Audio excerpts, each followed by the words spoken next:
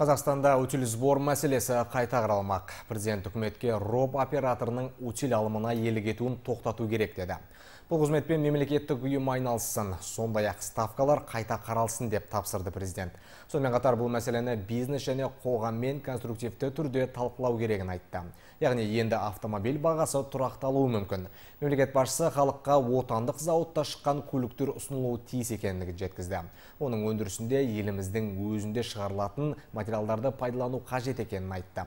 Мәселен, бір жылда Қазақстан 4 миллиард теңгеге жуық қаржыны алюминий секілді материалдардың импортына жұмсайды екен. Бұндай келеңсіздіктің алдын алу керек, деді Қасым Жомарт Тоқаев у предпринимателей и в целом в обществе кәсіпкерлер мен жалпы қоғамда оператор роб компаниясының қызметі көптеген сұрақ туындатып отыр тіпті осы жеке компанияға қарсы қоғамдық қозғалыс та ұйымдастырылды мен үкіметке оператор роб утилдік алым жинауына тыйым салуын тапсырамын мұнымен шет мемлекеттердегідей мемлекеттік ұйым айналысу керек. Кәдеге жарату алымы есебінен отандық автомобильдер мен ауыл шаруашылығы техникасын сатып алушыларға ваучерлер беру мәселесін қарау қажет. Оның құралдарын пайдаланудың басқа да қоғамдық пайдалы тәсілдерін әзірлеу керек.